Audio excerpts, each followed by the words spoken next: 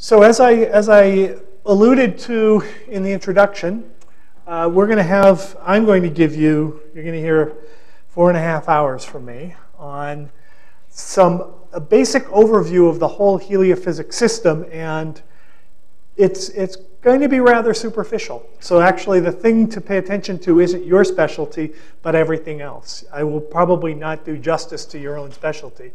Um, and the, way we, we conceived of this was just being able to come up with the answers to some of the basic questions. If you, if you haven't asked yourself them, you should. Uh, like, why does the sun have a magnetic field? Why do planets have magnetic fields? Um, I should also say I posted the lectures when I was 90% finished with them, or I thought I was finished with them, but it turns out I was not. So the versions I show you here are going to differ slightly from what you have. Um, we will up we will update them so that they're the final versions. But the other thing I, you know, you do notice when you're doing this, and probably it's taken me to this point in my career before I really appreciated it to this level, is how much inner interlinkage there is between these. So I would be making the talk on the ionosphere and realize I had to modify my talk on the dynamo and on the corona because they are interlinked. They're not separate areas. So when I realized what aspects of the corona were relevant to the ionosphere, I had to go back and modify. So uh, just be alert. You're, you're, mostly going to be in the right uh, ballpark when you uh, follow along, but what's up here might be slightly different. Anyway, the first question at hand is why planets and the sun have magnetic fields at all? And you probably already have some idea of the answer, but let's just uh, show you Let's see, this is my laser, yes. Um, it was said that the uh, Jovian aurora was not part of heliophysics. It most certainly is. And we're going to talk about the magnetic field on Jupiter, on the Sun, on Uranus, Neptune, uh, Saturn, Earth.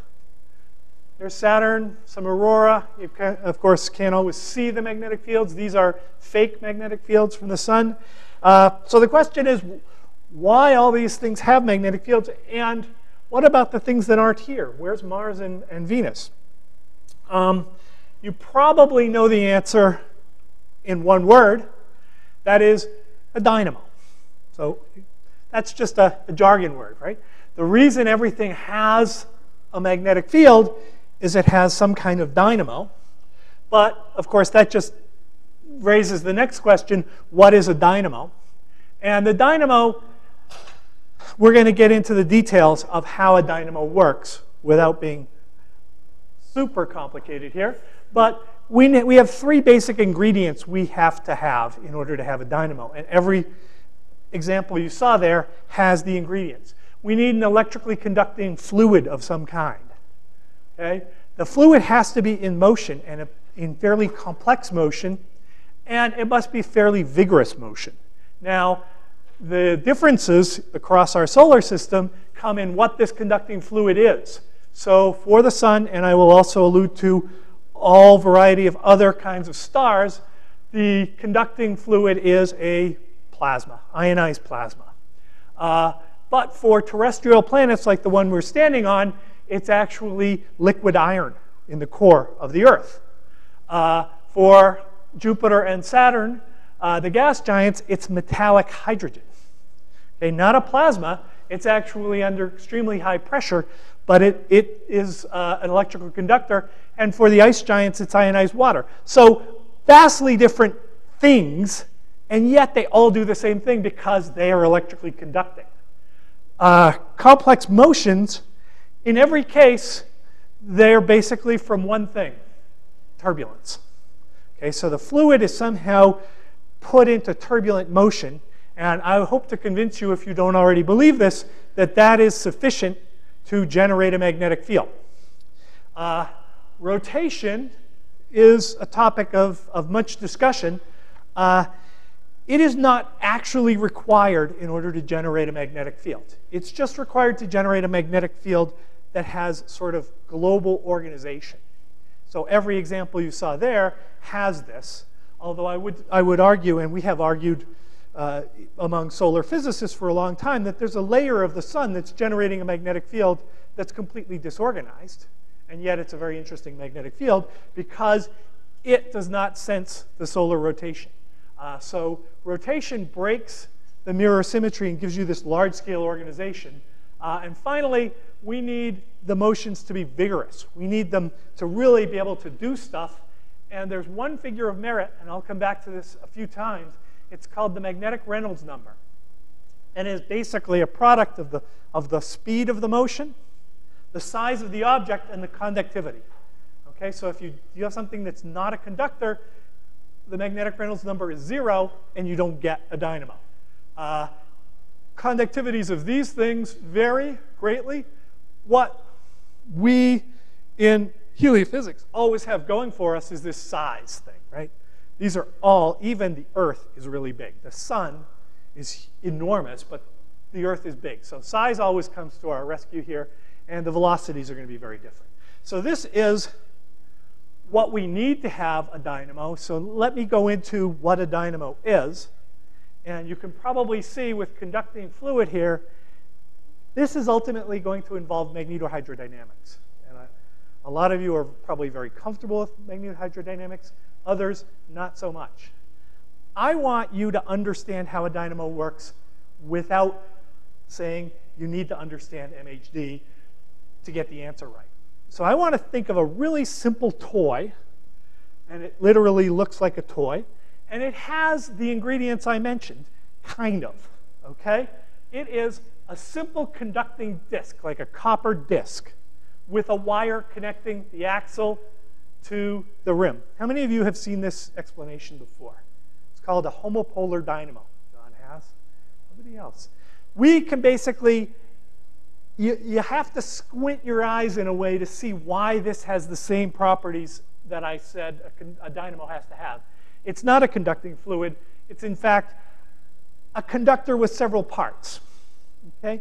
That seems to be an, as much as you really need. Fluid is an easy way to have lots of moving parts moving independently. Uh, but if you could make two pieces of metal, you've got it. Um, you need complex motions. And in this case, what you do is you need to move the parts in a, in a way that's separate from one another. You can't just take a single piece of metal and spin it and expect it to generate a magnetic field. That ain't going to work. Uh, but what this does not have, uh, that a lot of people might think is important for generating magnetic field, it doesn't have any magnets. It's, it doesn't have any like permanent magnets involved in it, right? It's just a copper disk. Uh, it doesn't have batteries. It doesn't even have net charge right? So people will start to explain dynamos in terms of charges moving.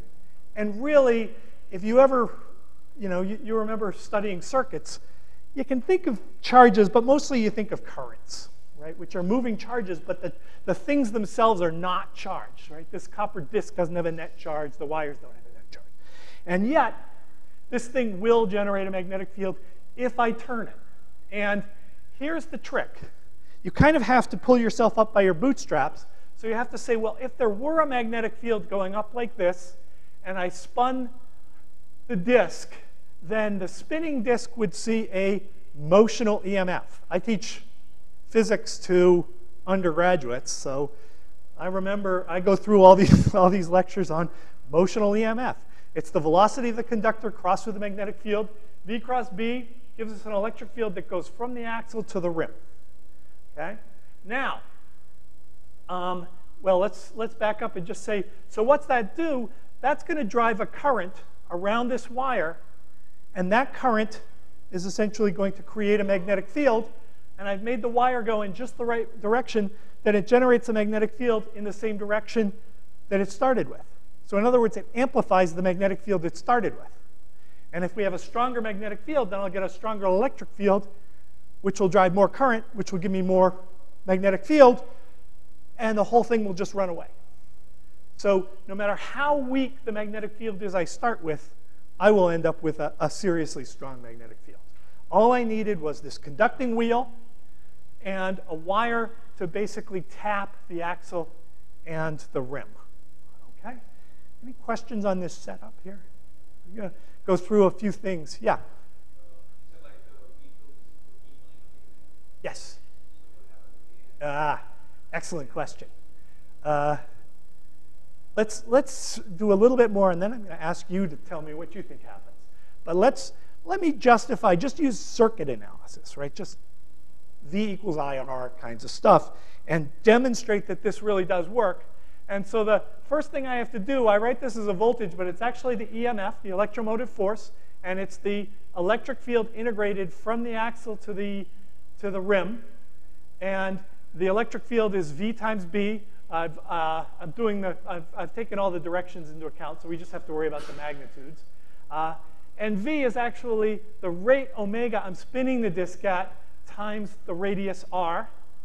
So I have to integrate basically omega, oops, I dropped, uh, yeah, omega rdr. So I do the rdr and I'm going to get 1 half r squared. Now I've combined b and r squared into the flux.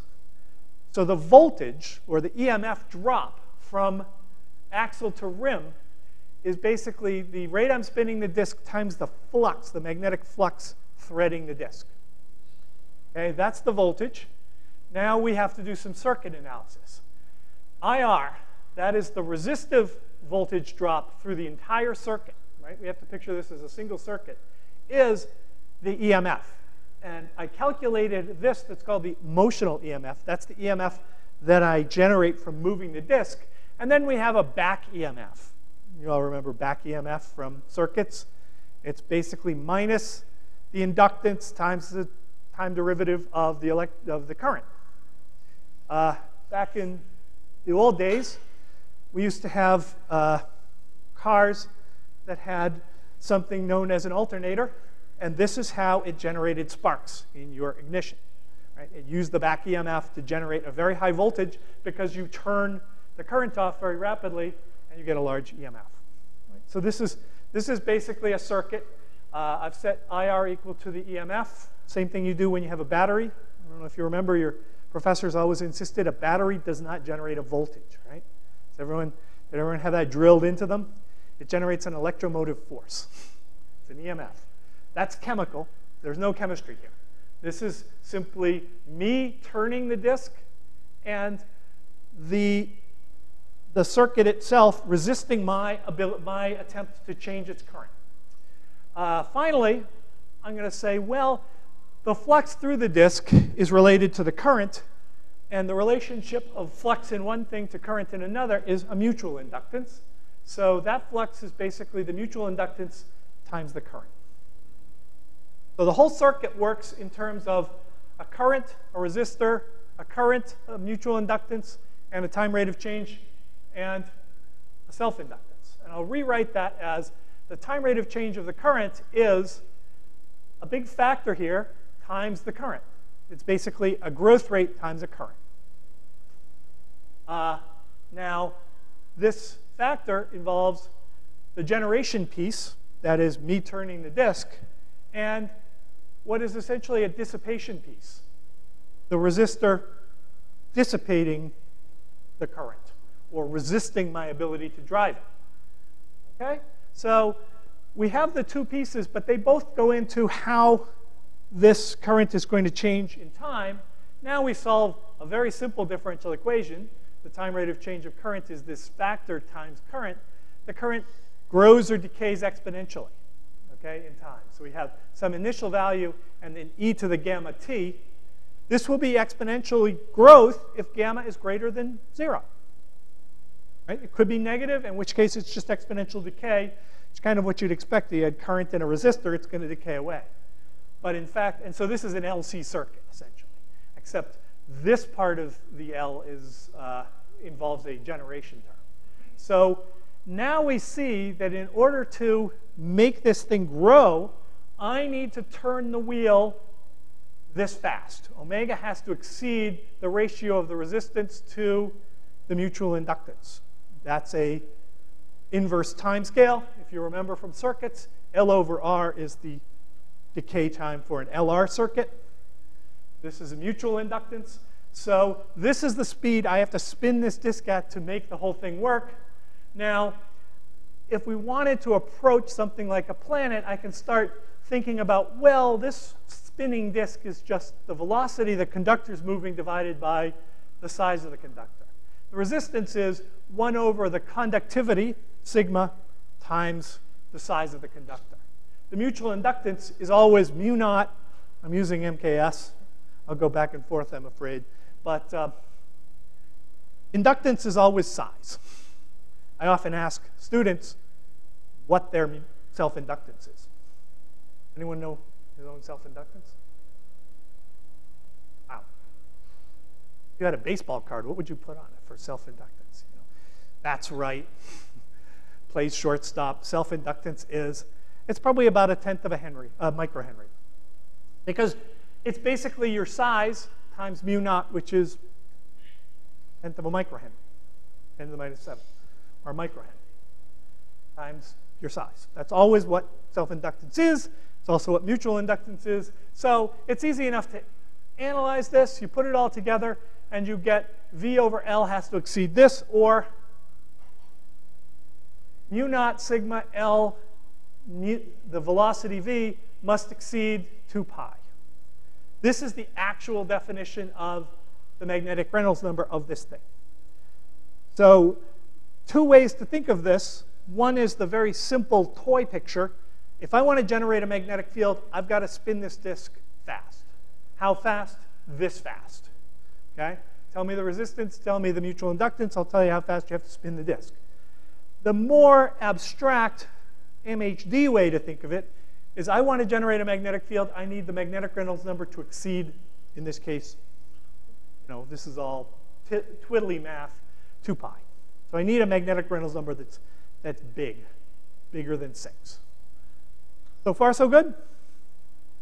So let's, before we answer the question that was posed, uh, let's just make a few observations. One is I can actually start with a magnetic field that goes in the opposite direction. Okay? And then my EMF will be in the opposite direction. My current will flow in the opposite direction, and it will amplify magnetic field in the opposite direction. So the whole thing works oriented in the opposite direction. That's obvious from here too. If I is negative, I not is negative, I generate negative current that grows exponentially. Right? No problem with that. So it works in either orientation. In fact, it, one of the things that we'll, we'll come back to is these dynamos seem to have two operating modes. Okay? We can generate magnetic field this way or this way. Another thing, though, is if I flip this in the mirror, well, let me, let me back up and say if I spin the wheel in the opposite direction,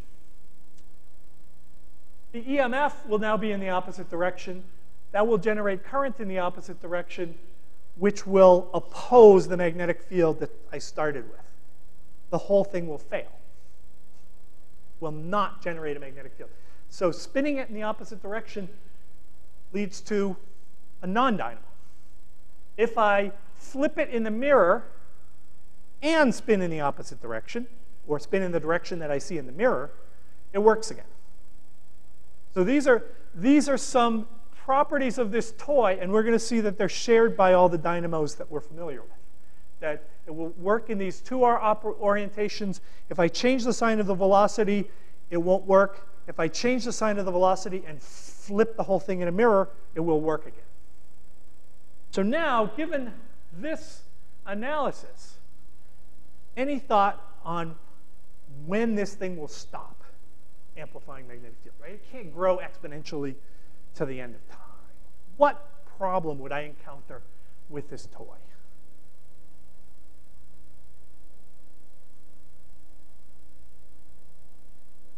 Yeah. Well, I have omega, and I can, as long as omega is bigger than this, dissipation will never, right? The dissipation scales in the same way as the generation. They scale together. So, so unless I slow down my spinning, okay, and then drop below this, it should just keep going. And why would I slow down my spinning? is not a Hall effect, I'm afraid. Good thinking, no? What? Lenz's law, uh, sorry, if, uh, um, that's what self-inductance is. basically Lenz's law. Yeah, so that, that's in there, right there.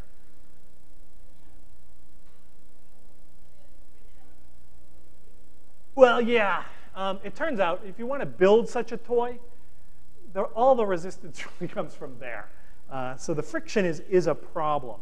But does the friction depend on, what does the friction depend on? It, it, well, depending on what kinds of friction. Kinetic friction, they tell you, doesn't depend on the speed even. Uh, if, if I go into more sophisticated models of friction, it might depend on how fast I'm spinning, but when I start spinning, presumably I've overcome the friction. Now, presumably my breakfast would run out after a certain period of time and I would have to stop. Um, but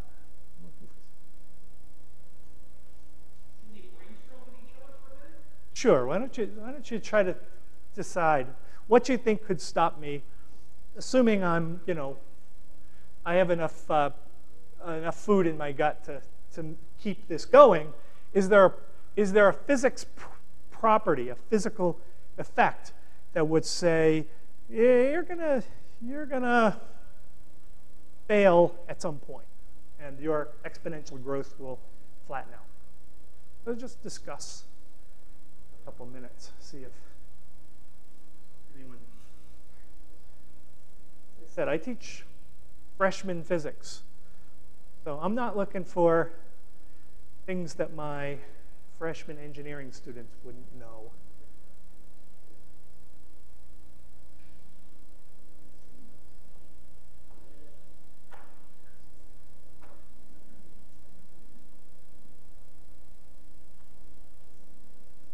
something, as this current gets stronger and stronger, something's going to. Resistance will stay the same, right? I'm, I'm, assuming resistance stays the same. Eventually, if it gets up high enough, you're right. I will, I will, my wires will stop conducting the current I want it to. Yeah. I, I yeah. What do we?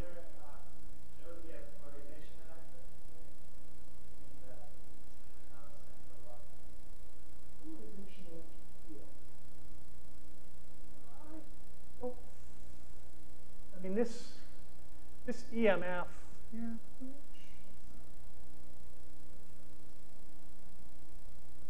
one of the, yeah, one of the things that will happen is I need the magnetic field to penetrate into the disk. And so that, you know, depending on what the conductivity is. But of course, if the conductivity is very high, then my work is, is quite easy for myself. Yeah.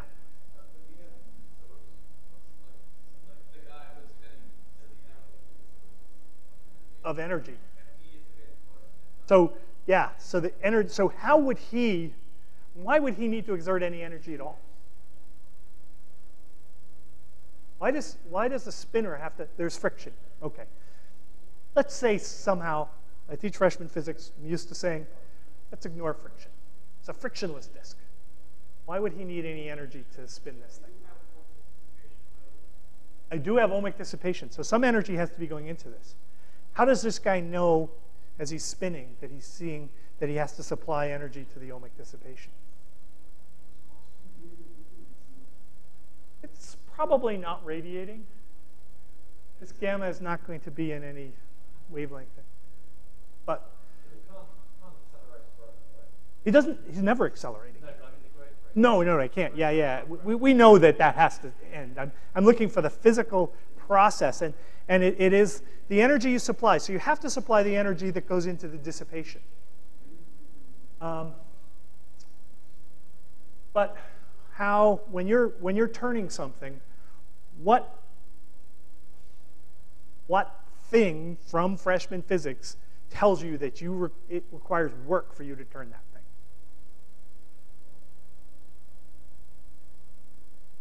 Anyone heard of torque? No? It's, a, it's the force, right? It's not, it's not the energy, it's the force, right? I have to do work against a force. And that force comes from I cross B.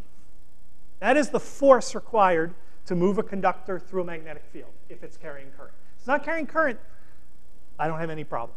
I can keep doing it. In fact, the Hall effect is one of the things that prevents me from having to do any work. If I didn't have this wire here, then things would be cool. There'd be no current. I wouldn't have to do any work. This thing, as the current grows, the force I have to work against is going to grow. And we can calculate the, the torque, which is the force times the lever arm, R, which again turns out to look a lot like the uh, EMF. It's the current times the flux. So the higher the current is, the more torque I have to exert. Or if I use the mutual inductance, it goes up as current squared. So as I turn this thing, I'm going to feel a stronger and stronger and stronger force that I have to do work against. The, the power that I have to supply is the rotation rate times the torque. This is power going into turning the disk, which is going as I squared. So yes, this is where I'm going to run out of, of my ability to crank this thing because the torque has now become bigger than the torque I can supply. That's going to drive the rotation rate down. If I subtract off the ohmic losses, so the power I'm supplying minus I squared R, the ohmic losses into the resistor, I get this familiar little gizmo times I squared. And if you recognize, this is basically gamma times L. So the power minus what I'm losing is gamma times I, Li squared, or the time derivative of 1 half Li squared. And this, again, from freshman physics, is the magnetic energy stored in a circuit. Okay, this is the, the total integral of all the magnetic field due to driving a current through this the circuit. So that's what the self-inductance really is about. It's about size, and the reason it's about size is because it tells you how much volume you have to fill with magnetic field. The bigger you are, the bigger your volume, the more magnetic energy you need. So this difference is basically the amount of work that I'm storing in the magnetic field, as soon as I run out of, of steam and I can't overcome that torque, I will slow down. Okay? And when I do, I will slow down until I get to criti the critical rate, at which point I'm not adding any more energy to the magnetic field, but I'm still overcoming the dissipation. I still have to keep doing work, but I'm not building up any more magnetic energy. And so the current plateaus. I get to zero growth rate. So this is the point at which dynamos all saturate. When they get to a point that whatever is supplying the energy is able to overcome the dissipation, and it could be this, it could be friction, uh, but what we're going to focus on is ohmic dissipation because it has to drive currents around, uh, and nothing more because adding extra magnetic field would be adding extra energy, and that's going to take extra work. So this is everything I want out of this toy model. Any, any other questions then before we move on to a real dynamo, a real equation version of a dynamo? Yeah.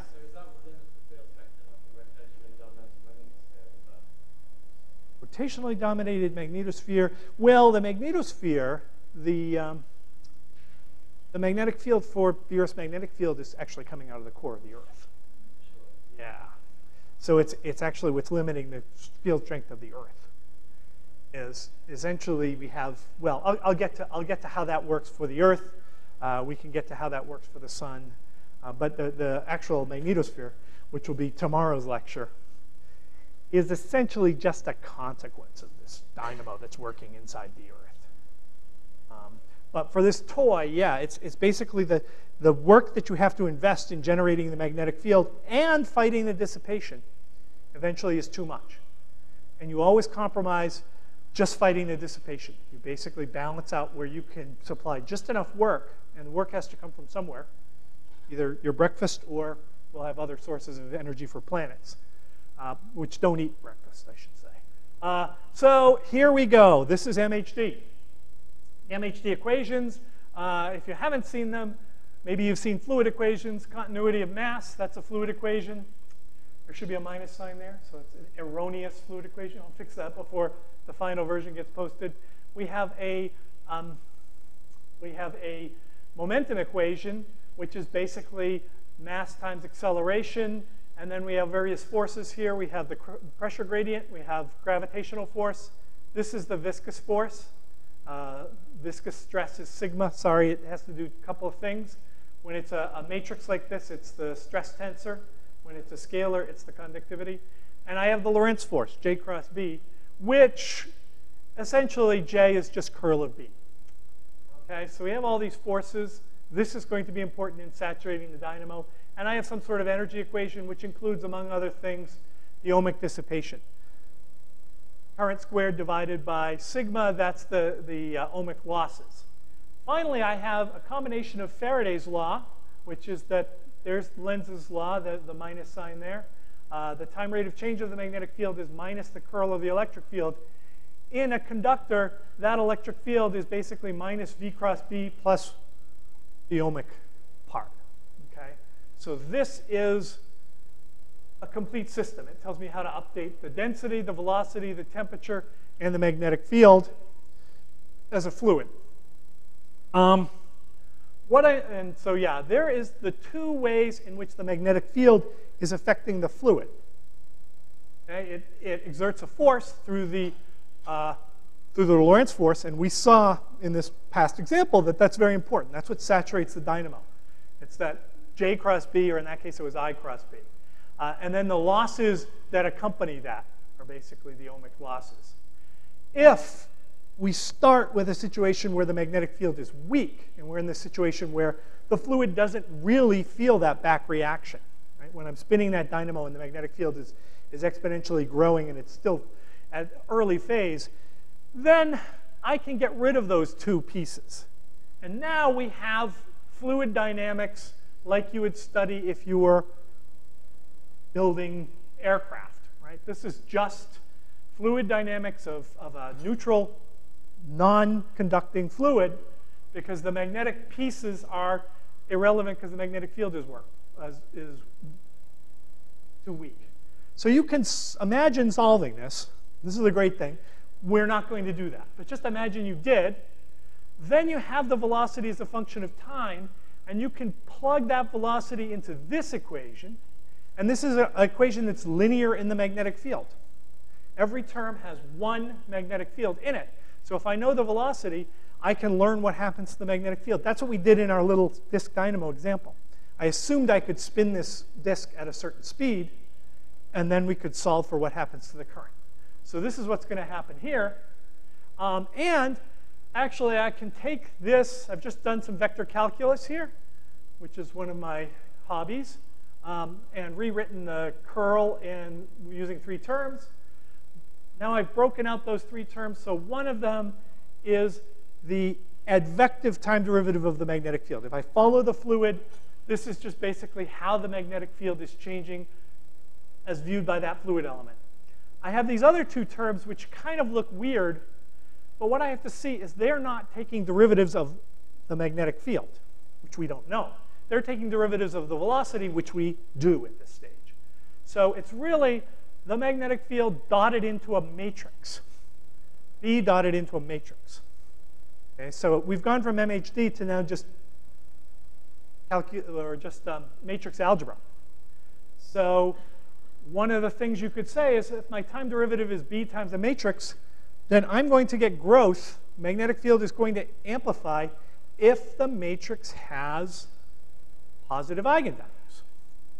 All I really have to do is think of a matrix, a velocity field that creates this kind of matrix here, where it has some eigenvalue lambda that has a positive real part, and there's a chance my magnetic field will amplify and grow as it did in the disk dynamo example. Um, however, I also have this diffusive term. This is the ohmic dissipation. I should have pointed out that eta is 1 over the resistivity with the mu naught. So, uh, in fact, if I just if I just look at what that would be, lambda minus or plus eta del squared, lambda is roughly going to be the velocity in this velocity field divided by the length scale on which it's structured. And del squared is going to be minus 1 over the length scale squared. So my growth rate is going to be this, which is 1 minus eta over lambda nu, this is another version of the growth of the magnetic Reynolds number. More or less the same expression. We, it is exactly the same expression we had before. Again, with my twiddly math, it looks as if all the magnetic Reynolds number has to be here is bigger than 1. That's because I've left out some 2 pi's that come from this here.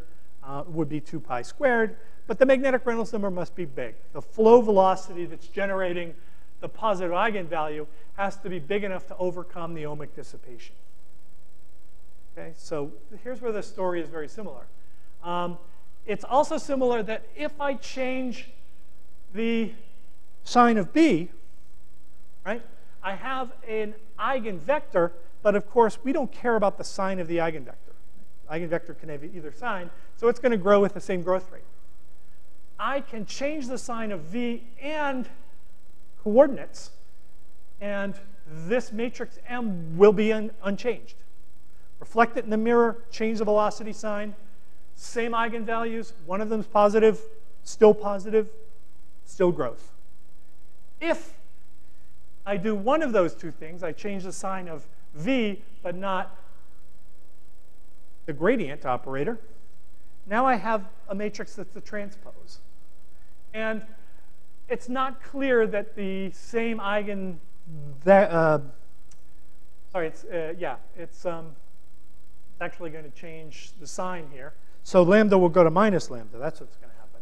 Uh, and so my positive eigenvalue is no longer positive, and I'm not sure I will have a growing eigenvalue. Okay? So we'd have to do more work. But this has all the same symmetry properties that my disk has. Um, what kind of flows would have this property that they have a positive eigenvalue? And I've drawn a very simple one here. It's basically flows to a stagnation point that are in along the y-axis, out along the x-axis. Right, there it is. Pretty easy to compute the matrix for this. It's basically 1 and minus 1 on the diagonals with whatever the velocity over the length scale that had to go into this. Okay, Really easy to pick out the eigenvalues here. One of them is positive. The eigenvector is basically 1, 0. That, if I multiply it by this matrix, I get v naught over L times the same vector. v naught over L is the eigenvalue, as promised. So I'm going to get growth, as long as v naught over L is big enough. Uh, what this does to magnetic fields, those of you who've seen MHD, the magnetic field lines are moved with the flow. So if I have a certain, and this is the eigenvector that will grow, if I have horizontal field like this, then this flow is going to bring these field lines, compress them at the axis, and stretch them out. So here's the take-home message from all of MHD. What I need to get a positive eigenvalue, and therefore a dynamo, is I need a flow that will have this effect of stretching the magnetic field. People who don't deal with MHD think that that sounds really kind of cartoony, now I've tried to put some math behind it, but it's really what's happening. These magnetic field lines, according to the MHD equations, do get stronger and they get compressed and stretched. Okay? Which, if I started with a little circle sphere of ink at any point in here, that ink would also get stretched. So you don't even have to really think about the fate of a magnetic field to know if you have a dynamo you can think about the fate of ink droplets or milk droplets in cream. Right? As long as they get stretched out, then there's at least one direction where the magnetic field will get stretched out. That means it's getting amplified, it's getting stronger, it's growing exponentially, provided you're stretching faster than the diffusion is de-stretching. That's what really diffusion is all about. Okay? And the technical term for this process of stretching in a flow field or a dynamical system is called the Lyapunov exponent. That's basically a, a rate of stretching. Um, so what we need in the end is really just a, a flow field that has a positive Lyapunov exponent. And fortunately, I won't give you all the details, but you can show that turbulence does exactly that. Now you have experience with this because if you put your cream into coffee, then it forms this little drop, right? And it will diffuse across the coffee if you give it a couple hours, but your coffee will be cold. Or you can swirl it around, and that little drop of cream gets stretched out. And that's why you get cream distributed throughout your coffee. You're making turbulence do that for you. Okay, so you get this stretching property from turbulence. Uh, what you need for turbulence involves one more dimensionless number. It's actually the Reynolds number, and it looks exactly like the magnetic Reynolds number, except in place of the diffusive, magnetic diffusivity, you have the viscosity. This also needs to be big for us to get turbulence. So in peanut butter, which has a very low Reynolds number, unless you drive it supersonically, uh, you don't get turbulence. But in coffee, which has a very low viscosity, you don't have to stir it very hard and it'll become turbulent. So you get turbulence whenever the magnetic whenever the real Reynolds number is large. Um, now, the last bit, and this is really hand wavy, somehow my turbulence would stretch the magnetic field in all different directions? I'd end up with stronger magnetic field, but kind of totally disorganized. In order to make it organized, one of the things we can do is keep the turbulence in a rotating medium. And the axis of rotation will provide a, a, a sort of organization.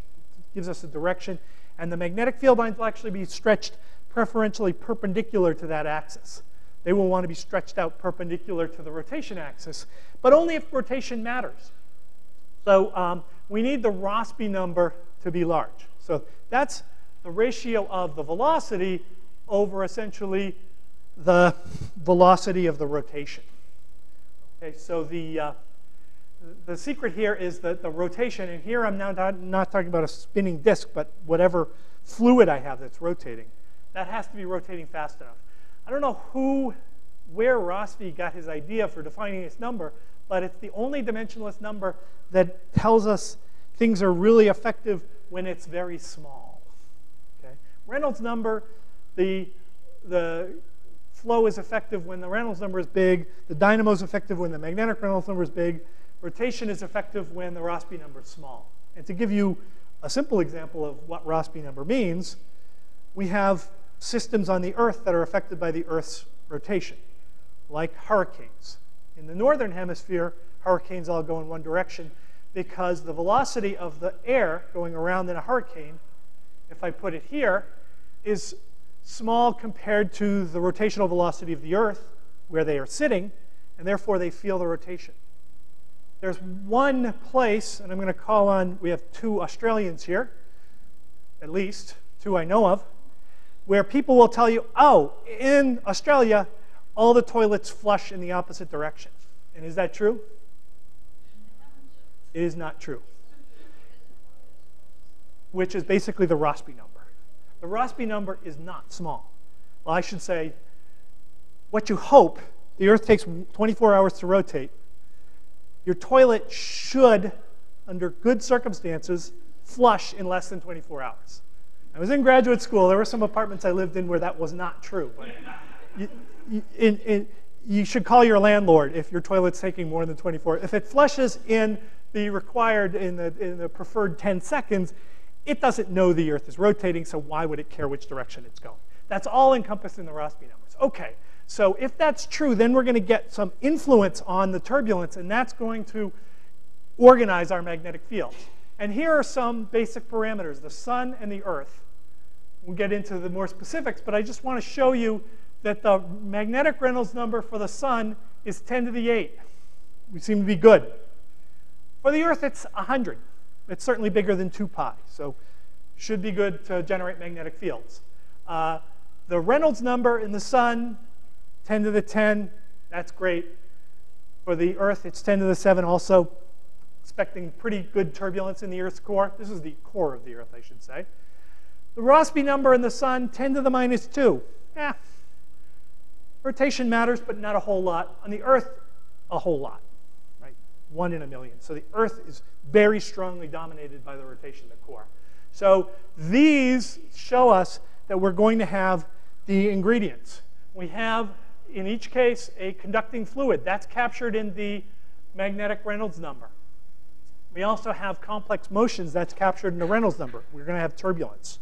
So we should be in Dynamo City. Um, so let's see.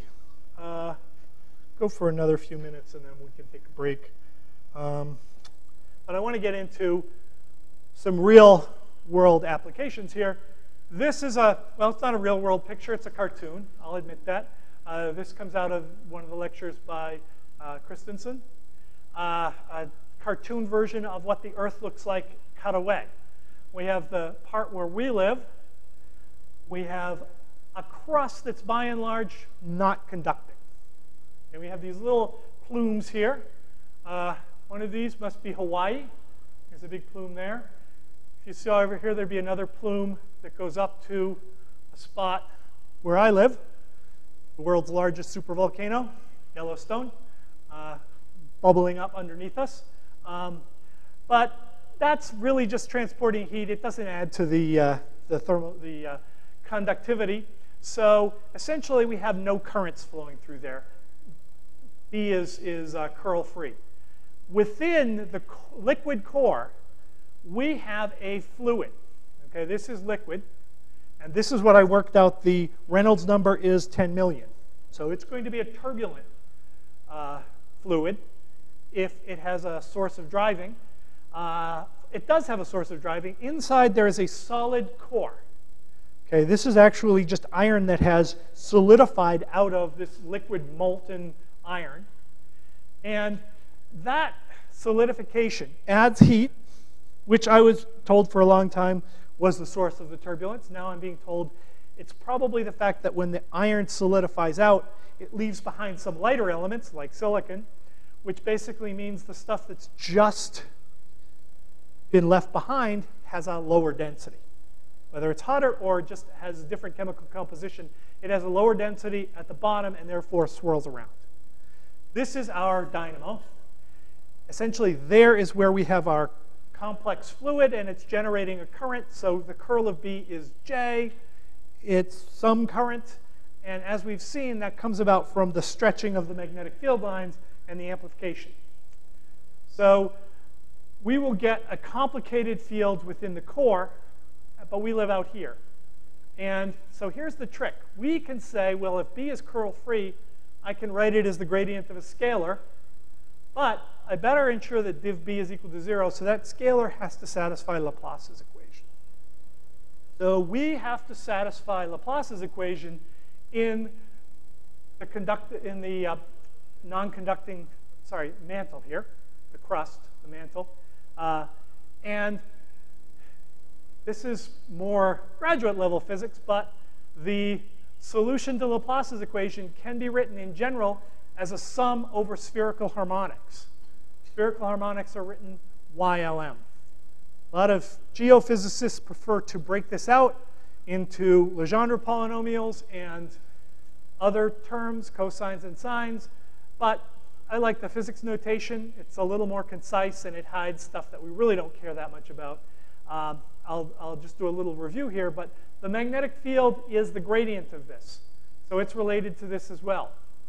Let's just do a quick refresher for those whose memory of spherical harmonics is kind of rusty. Uh, we have the spherical harmonic expansion is in terms of two indices, L and M. L is the important one. L equals 1, the very first term in that expansion, is the dipole term.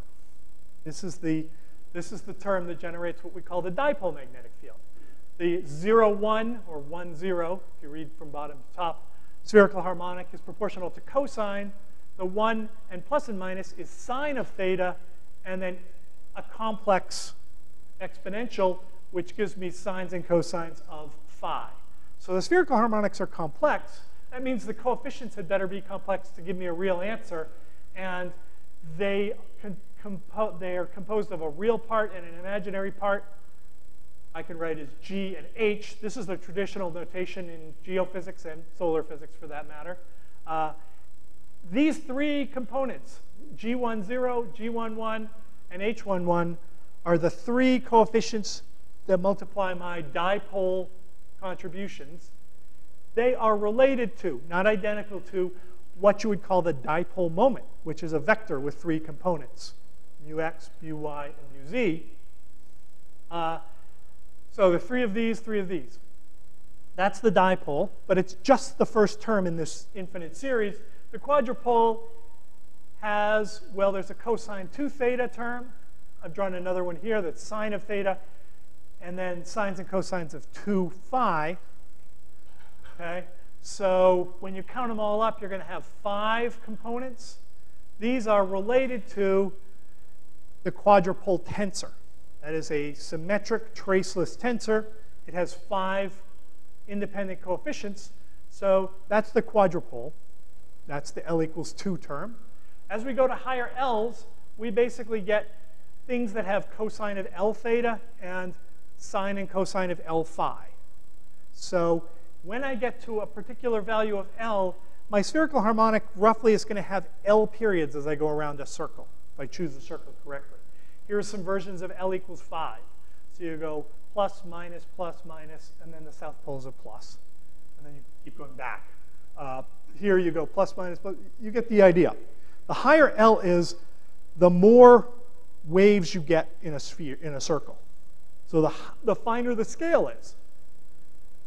Okay, the, the most important thing is in this expansion, which has an infinite number of coefficients, we get YLMs, and they depend on radius inversely with L. So when I have L equals 1, the field goes as 1 over r cubed. A dipole magnetic field goes as 1 over distance cubed. A quadrupole magnetic field goes as 1 over distance to the fourth. An octupole magnetic field 1 over distance to the fifth. Hexadecipole, that's 16, 6. Right? So as you go further from the center, this factor here is going to get small with distance faster for higher order multipoles. This is the take-home message. Here are the G's and L's. Well, this is actually written as power for the Earth. Here is what we see at the surface. We see a big dipole. We see a quadrupole, an octupole, hexadecimal, but their amplitude decreases, just as it says it would here. Okay? So the magnetic field at the Earth's surface is dominated by dipole with a little bit of quadrupole mixed in. That is not because the dynamo is generating a dipole magnetic field.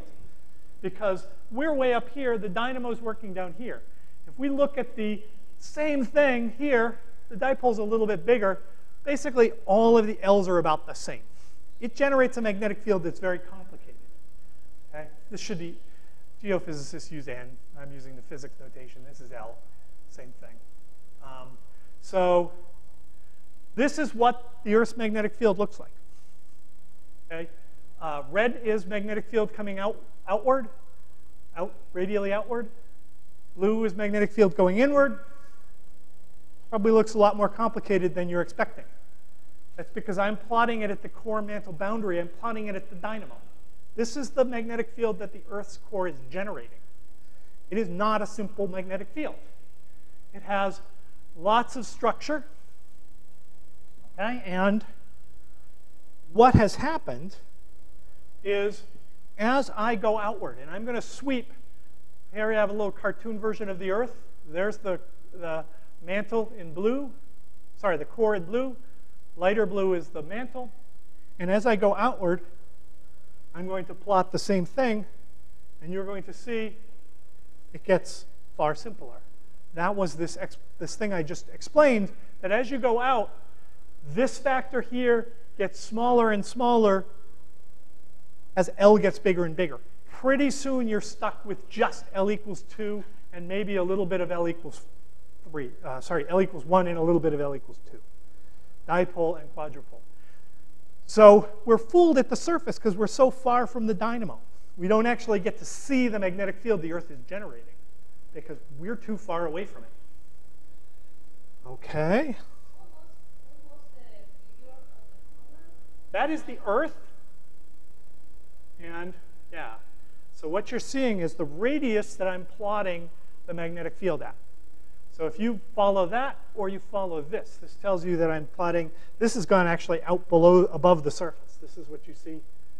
So it goes from 0.55, which is the radius of the core mantle boundary, to 1.25. And then this is the surface that I'm plotting That's, does everyone follow that? Which uh, expands outward.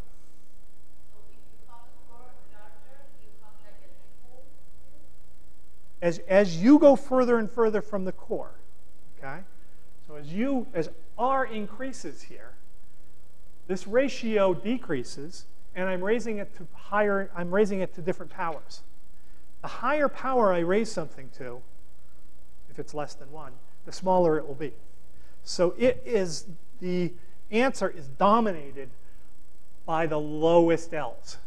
The L equals 1 and L equals 2 are the dominant ones. And if you plot a, a field that just has L equals 1 and L equals 2, you get something like this. Looks like a dipole that's kind of slightly deformed.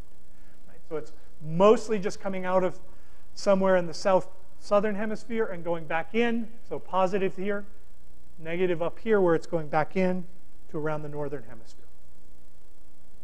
And this is where the field is perfectly horizontal. Yeah? Yes? Ah, we'll get to that in a second, how it changes over 100 years. Um, this is this is 100 years ago. I, I happen to just have my hands on a simple data file I pulled off the web that has the spherical harmonics going back 100 years. Um, they go back a little further than this. The spherical harmonics were developed actually for this. You learn about them in quantum mechanics, but they were developed for the Earth's magnetic field by a guy named Carl Friedrich Gauss, who was trying to understand the Earth's magnetic field. And by then, they'd measured it on the surface in many places. In fact, that's the only place we measure it. Right? They extrapolate downward. So that's why they take the data here and then they divide by these increasingly small numbers to get this. Uh, I'm not sure I can tell you how much to believe those numbers, but uh, you'll have to get a real expert for that. But we have the data over time, so we can look at what happens to the Earth's magnetic field over time. And so far, that's what's happened 110 years. That's what's happened so far. Not all that exciting. Um, but as we said, the real source of the magnetic field is down at the core. So let's look what happens to the same magnetic field the same time for that magnetic field. And you see it doing quite complex things. In fact, it's being moved around by the convection. So what you can do is take this induction equation. Well, turns out it's a little too much to ask to work with this exactly. So we're going to assume that the flow is very subsonic, and it is. Uh, and therefore, divergence of V is, is zero. Uh, and also, we're really only interested in it at a surface, so we're only going to look at the radial component. We're also going to ignore the diffusion just because otherwise the problem's too difficult to solve.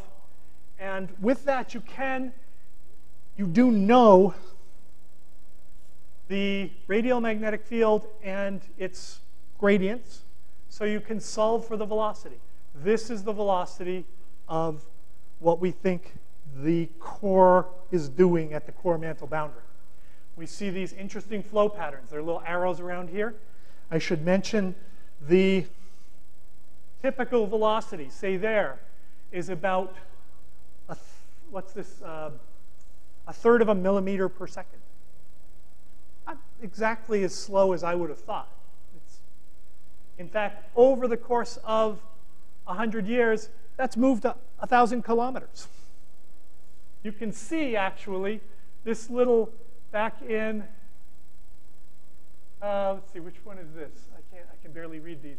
This is 1910 or something like that. But you can see a little blob of negative polarity in the southern hemisphere, which is sort of, you know, it shouldn't, it doesn't know at the core mantle boundary that it's supposed to be mostly north-south. So that has moved at about 1,000 kilometers. You can see where that moved over to basically from there to right on the, the coast of South America. In fact, it's that little bit of flow in the core and the magnetic field that's being moved by it that generates something we know as the South Atlantic anomaly. That's why the magnetic field over the South Atlantic is in, a in the, at the surface is weaker. Uh, and that's sorry, it would be at the end, you can see that weak spot moving, and it's moved a 1,000 kilometers in our last century. Um, now, finally, we'll do the uh, long, longer term evolution here, and that is going to be, yeah, uh, the magnetic field. The way we have records that go back 100 years is people had magnet, magnetometers, things that could measure the Earth's magnetic field. Uh, 40 million years ago, we did not have those. what we have is lava that has cooled and has frozen in magnetization from what the Earth's magnetic field was 40 million years ago, but it doesn't tell us the strength. It tells us the direction. But we have a dynamo that works in two modes, just like our toy. Essentially, the normal mode, normal because it's the mode we're used to today, where the magnetic field comes out of the South Pole and goes up to the North Pole, and the reverse mode, where the dipole is in the opposite orientation. And remember, this is just one of the infinite number of terms that the, dipole, that the dynamo is generating, the dipole term. Somehow we're really only focused on one of those numbers. That is, what is the component, the north-south orientation of that component. But if we look at it, it has actually changed as we go from today, normal, then some 300,000 years ago, it was reversed, then normal, reversed. You see, it changes quite frequently, although not periodically. It's a very poor AC generator. A dynamo apparently is an AC generator. It works in two modes and it flips back and forth between them. But here, it seems to almost be flipping a coin to decide when to flip. Uh, and that is our evolution over 120 million years. So it, seem, it seems like it's just flipping at random. I will, I will do one last thing to do with the geodynamo, and that is the simulations, which were done by Gary Glatzmaier. He was a graduate student Colorado, but here at the High Altitude Observatory did his thesis with Peter Gilman on the dynamo of the sun. And he graduated and decided he could use the exact same equations, that's my point here, to solve for the dynamo of the Earth. And this is some of the best modeling we have of the Earth's dynamo. And it solves the numerical, the MHD equations numerically. These are the field lines. You can more or less see with your eye where the core mantle boundary is. Everything outside of that is this multipolar field. Everything inside of that is what his simulation is generating. It's very complicated. And what you'll see is it mostly goes not north-south, not south-north, it mostly goes east-west, toroidal. The magnetic field, and remember, that's what I said, the rotation of the Earth, which is extremely dominant here, prefers to line up stretching directions in the toroidal direction, perpendicular to the rotation. So it stretches all its magnetic field in that direction, most of its magnetic field, I should so the magnetic field inside the Earth is not the one we see. But of course, in if you have any experience with, with um, spherical harmonics, you'll know there are no spherical harmonics that do this, that go toroidally around. I can't get the gradient of a scalar to go around that circle because it wouldn't be a singular, single valued scalar. So this field can only exist where there are currents, and that's in the core. So we don't see most of the Earth's magnetic field. We see the stuff that generates spherical harmonics. Let's take a couple minute break here uh, and get back in about, uh, I'd say about three or four minutes if you want to run to the bathroom or stretch your legs or something, because it's hard to keep going for so long. Uh, and see what we think might be happening in some of these other planets. And actually, Ganymede is a moon. The moon is a moon.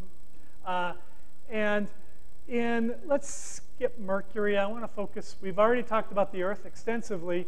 Venus and Mars have a liquid iron core. So we have our conducting fluid,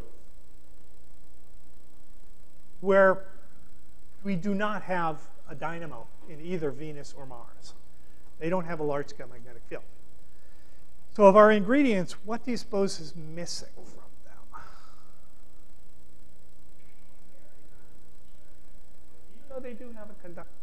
Conducting fluid. Yeah. It's right. There's they're, lacking that turbulence, that vigorous turbulence. And you'll see they don't have a solid core. So the thing that was driving the Earth's magnetic field, uh, the dynamo, was the, uh, the condensation. That does not seem to be happening here. Uh, I think, and here I'm way outside of my field of expertise, that um, that explains why neither of these planets is that volcanically active either. Earth is quite volcanically active. Speaking as one who lives on a supervolcano, I can attest to that. Uh, let's skip uh, Moon, same story. So Venus, Mars, Moon, magnetic field may have been there in the past. This kind of thing, the dynamo may have been there in the past. This kind of thing was probably happening differently a long time ago. And the rocks themselves have frozen in remnants of those magnetic fields. Jupiter and Saturn, to a lesser extent, have this metallic helium or hydrogen, helium and hydrogen, very good conductor. Uh, they are the, the uh, turbulence is being generated there by, uh, I think, by nuclear reactions. Uh, and Uranus and Neptune actually have ionized water ice, water, sorry, that is a uh, conductor. So let's just skip over to, here are similar kinds of plots for Jupiter, the Jovian magnetic field coming out of the south, going into the north, Saturn, Neptune, you can see, is very complicated. That tells us what? Some dynamos generate complicated magnetic fields and some generate, in this story I've told you, the Earth generates only a dipole? It's closer to the surface, yeah. Our liquid, our liquid is closer to the surface. Yeah. And Mars, we've just got the rocks that have been frozen in place. I want to skip through, just mention here, this idea of the saturation of the dynamo can come to some real use if you figure that the power that's driving the turbulence, which is the thermal conduction, something that's basically moving uh, heat through or density through and creating turbulence, is being balanced by the ohmic dissipation. Then in Christensen's chapter of volume 3, you can actually work out what the field strength of each planet should be as a function of this factor that's basically the thermal conduction to the two-thirds power and the density of the material to the one-third power, and then some dimensionless factors which you can never get out of this game. But depending on where you put Saturn's uh, core, you can actually get it to fall on the line. But you have stronger magnetic fields at Jupiter because you have stronger driving. Okay, So uh, that all works out pretty well. We're going to have to zoom a little fast here because I want to cover the sun, uh, which, as I said, is all conducting. Okay, it's, a, it's an ionized plasma, so with very few exceptions, it's a very good conductor. It has very strong turbulence driven thermally by the heat moving out of the, uh, out of the sun. Um, it is an extremely good conductor uh, an ionized plasma is about the best conductor you could ask for. Your ions and your electrons are independent of one another and are free to respond to any electric field you put in. The only rub is the rotation isn't all that effective. It's not rotating that fast for its size, so the Rossby number is only 0.01. So the organization is imperfect at best. Uh, one other thing I'll point out, the corona, this outer envelope here, is a very good conductor, but it, there's very little material, and that means the current is going to be, you're not going to have a lot to carry the current. So in some cases, it will be helpful to approximate the magnetic field out there as being current-free. And that's a, an approximation we make. All right, so, but based on this, these numbers here, the sun should have a magnetic field, and lo and behold, it does. Here is one of our routine tools. It's called a magnetogram, and it's a map of the sun's magnetic field just the component pointing towards you. It uses circular polarization of a spectral line to do that. And where it's white, the magnetic field is coming towards you. Where it's black, it's going away from you. And you can see a lot of magnetic field. You can see it doesn't look at all like a dipole. The thing that's generating the turbulence is only the outer layer of the sun. this outer 200,000 kilometers. Everything's a conductor, but that's the only part where the generation is happening. So we see very complicated magnetic field because we're seeing where it's being generated. I tell many people that while we've known about the Earth's magnetic field for a long time, we are so far from the dynamo that what we've, a lot of what we've learned about dynamos, we've learned from the sun. We're far away from the sun, but we can see the dynamo directly. Uh, where you see sunspots, and this is just a normal image, and you see these little blemishes are sunspots, that's where you see very strong magnetic field. But you also see magnetic field all sorts of other places. I want to just draw your attention to the fact that this tells us, the sunspots, the concentration, that the sun generates magnetic field that is fibril. Right? The picture you should have is that this sunspot pair, which has magnetic field in it, what we call an active region, was generated in that outer 200,000 kilometer convection zone and has poked through the surface. But basically, the magnetic field was going from the east to the west up here, so positive, negative, and then down here from the west to the east, going the other way. But it's part of a, a long strand of magnetic field that was generated down there. And you will also notice, if you look carefully and you look at lots of these, that it's generally the case that the northern hemisphere has magnetic field going one way. In this case, it is east to west, and the south, southern hemisphere the opposite way. So we have magnetic field that's mostly toroidal. I argued that in the Earth's magnetic field, what simulations tell us is that's probably true of the Earth's magnetic field. Here, we've known for 100 years that the sun's magnetic field does this. It's mostly east-west and west-east, north and south hemisphere. And that just comes from observing all this data, identifying that this magnetic field is structured like that. Um, so here is that same kind of image. And what I've done here is unwrapped it. I had to wait for the sun to rotate uh, a full rotation, 27 days, so I can see all parts of it. And I unwrapped it, and I sort of compromised the resolution. One of the reasons I did this was I could put one magnetic field up here and another down here. This is the Earth's magnetic field at the core mantle boundary. This is the sun's magnetic field where I've thrown away most of the spherical harmonics, thrown away most of the data. Observers will tell you not to do this, just to make the game fair. We don't have a lot of spherical harmonics for the Earth's magnetic field. Now you see, boy, they're not that different. right? We here, graduate students in space physics, could pick these two out of a lineup.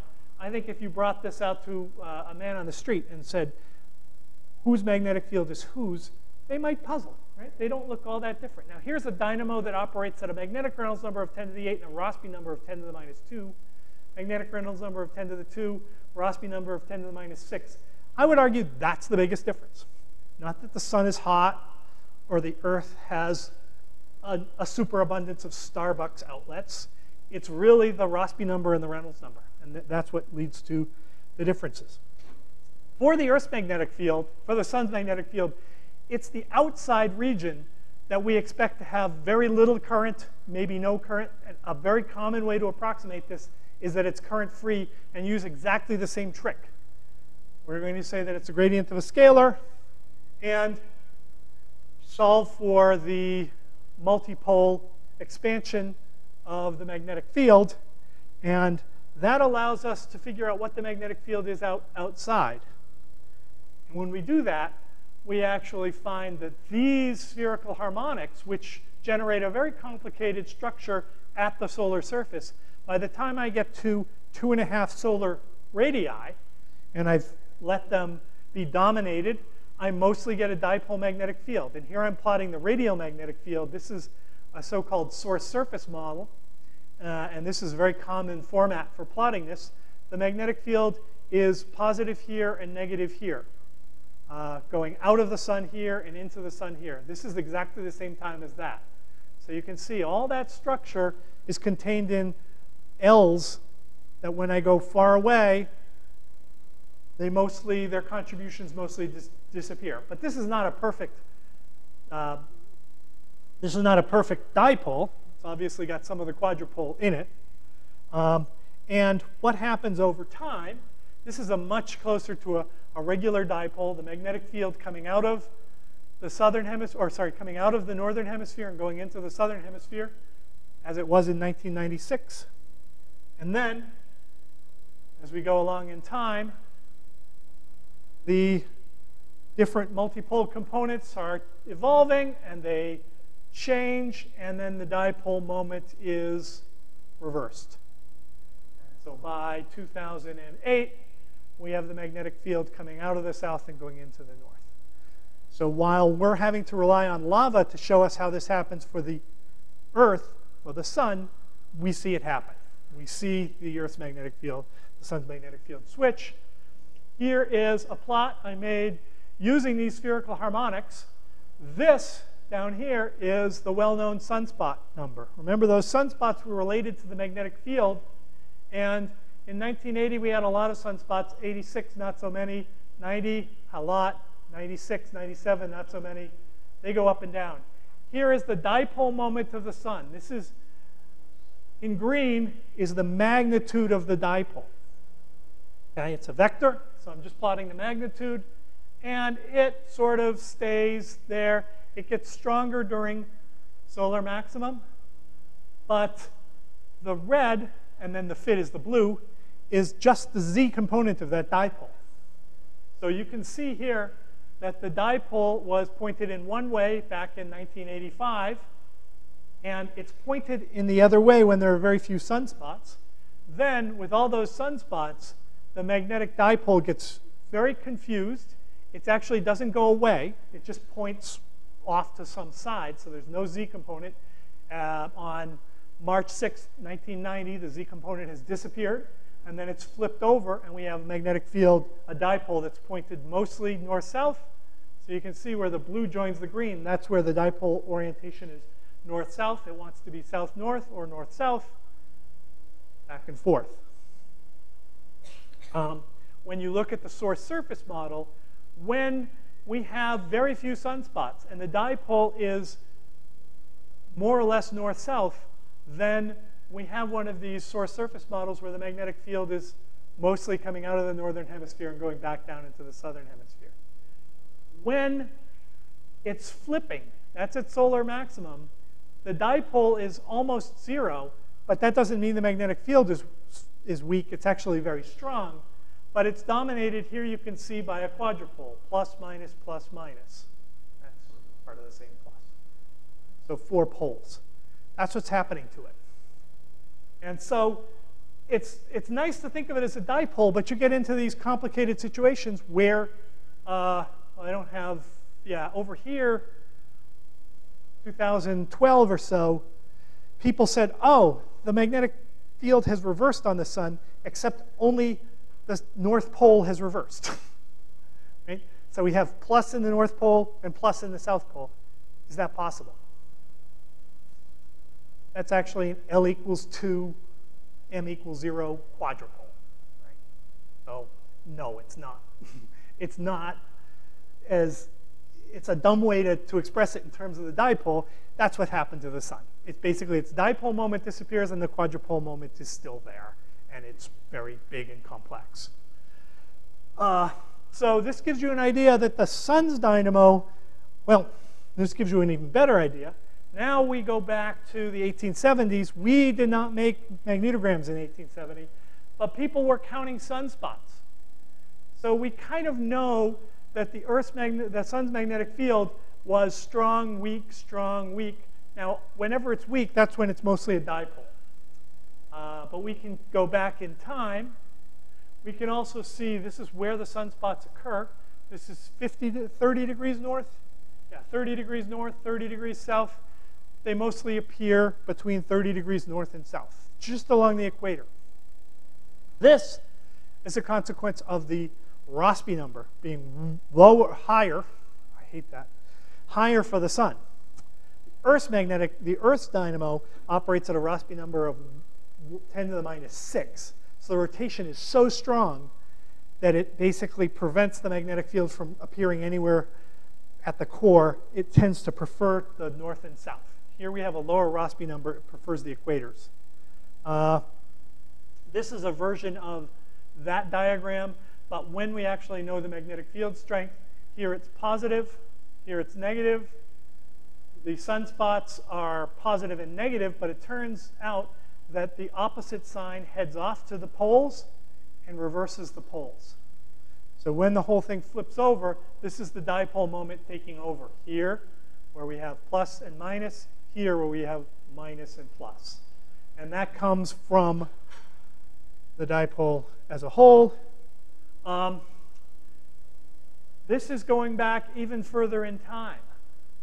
We actually have records of sunspots that are not as routine, but are pretty reliable back to 1600. And we have periods where it looks like the dynamo was operating at a much weaker level. We don't know that it shut off. We know that it wasn't forming sunspots. The relationship between sunspots and magnetic field is a complicated one. Can't get into that here. But we do think that for about 50 years, that dynamo was not so active. Uh, you can also see as an AC generator, it's not a great AC generator, but it's not random like the Earth. That's the consequence of operating at a Reynolds number of 10 to the 10 rather than 10 to the 7. Or much higher Reynolds number, our turbulence is much better developed. We get a much better AC signal. So it's the outer envelope, the convecting envelope, that generates magnetic fields in the sun. What about other stars? And here is, if you took any astronomy, a Hertzsprung-Russell diagram. X-axis is basically the temperature of a star.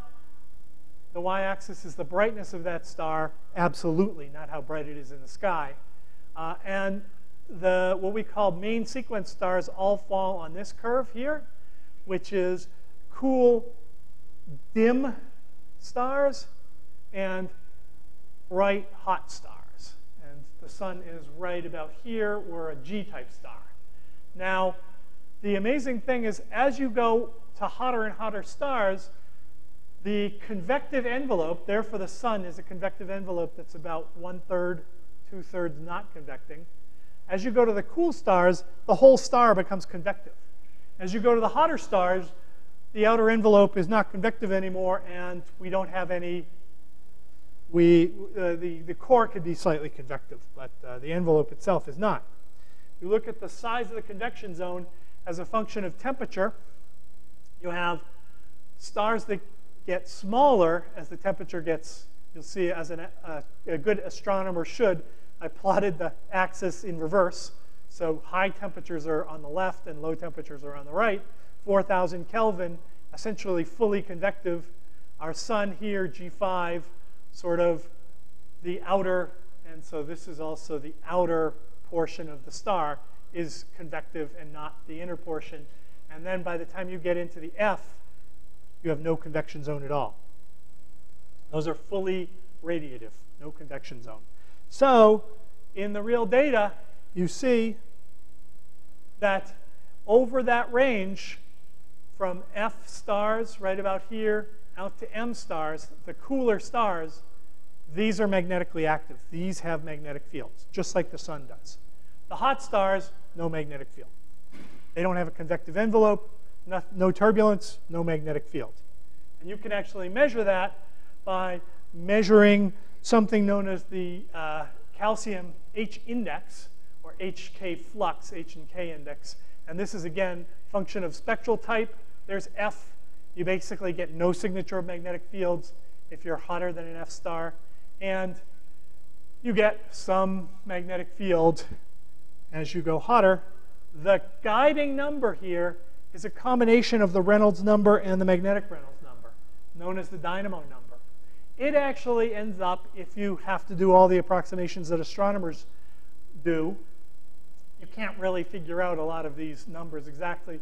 So you assume that they scale in various ways with the rotation rate of the star, and what you find is the dynamo number, the strength of this dynamo, should scale as the Rossby number inversely.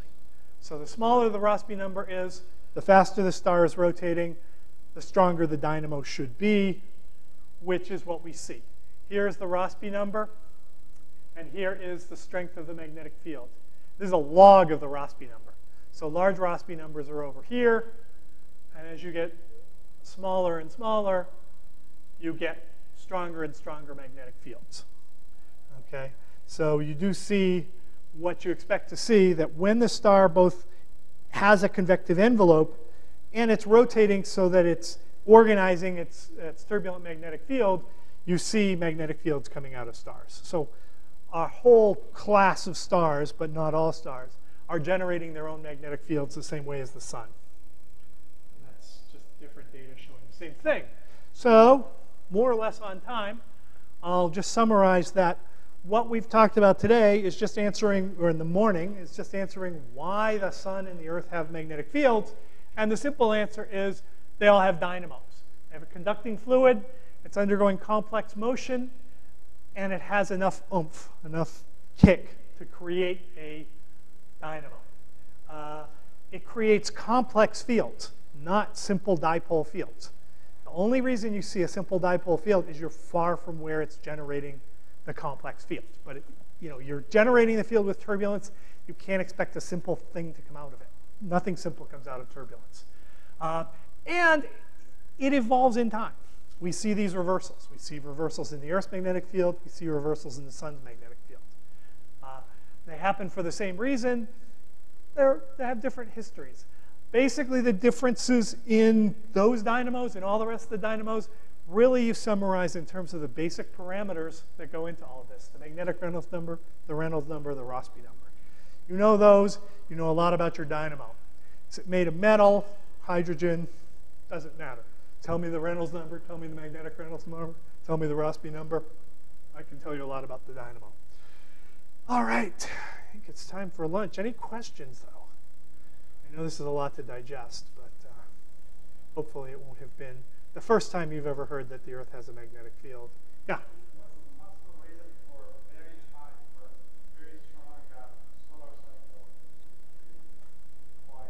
Yes.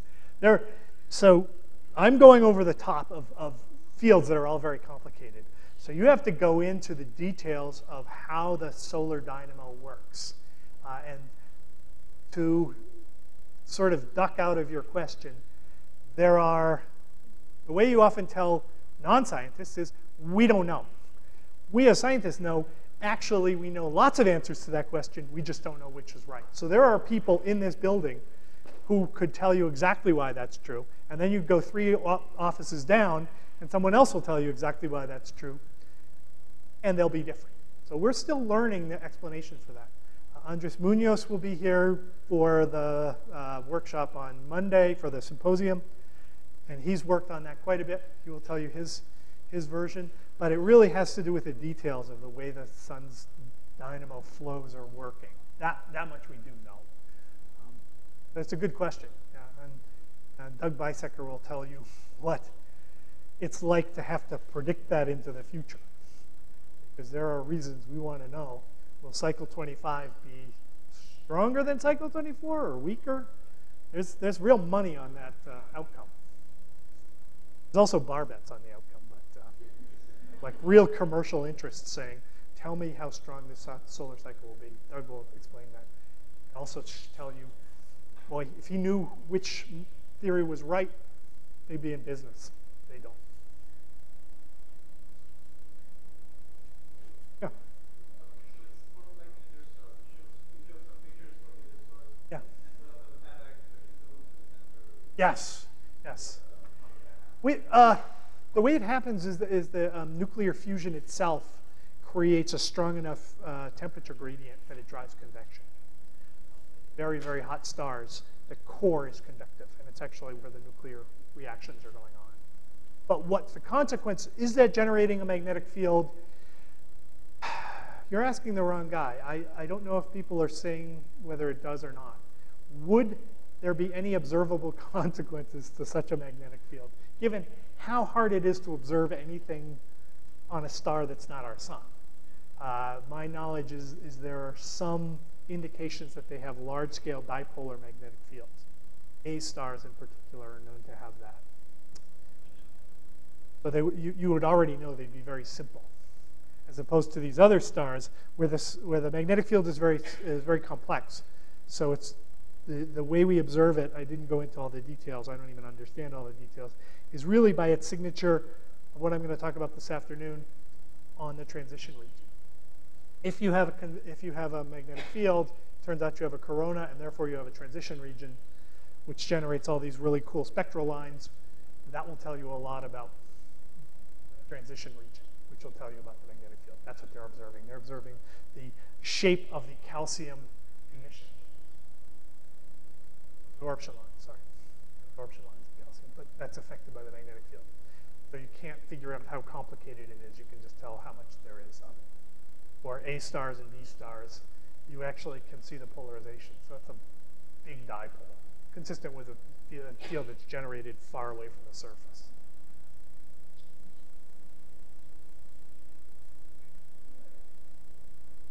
Not, we'll break for lunch, get back here and talk about why there's a corona and why there's a transition region. Or solar wind, sorry, as well. All right, enjoy your lunch.